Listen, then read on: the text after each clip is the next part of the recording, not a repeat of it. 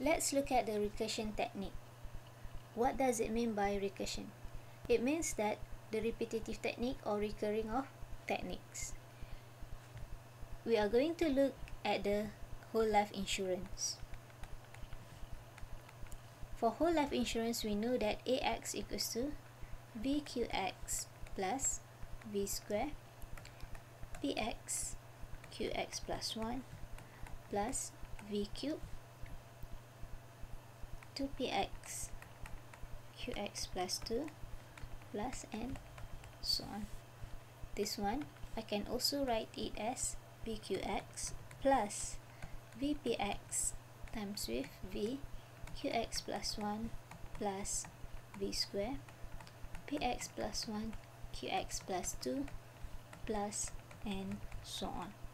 If I were to write ax plus 1 and expand it I will have ax plus 1 equals to v qx plus 1 plus v square px plus 1 qx plus 2 plus and so on.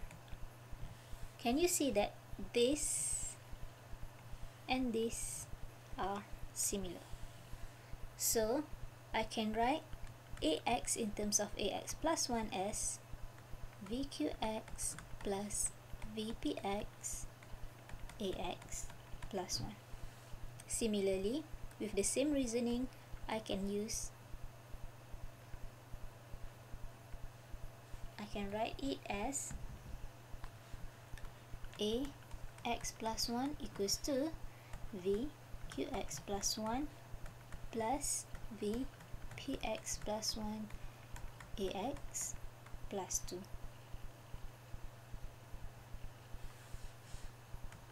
I can use the same reasoning for ax plus 2, ax plus 3 and so on.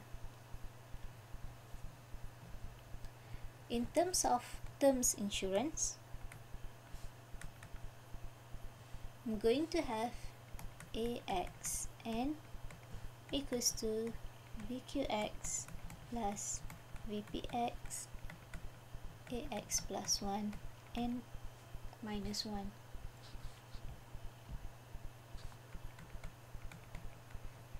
1 endowment. All of these are using the same reasoning. Axn equals to vqx plus vpx ax plus 1 and minus 1 if for monthly whole life insurance I'm going to have AXM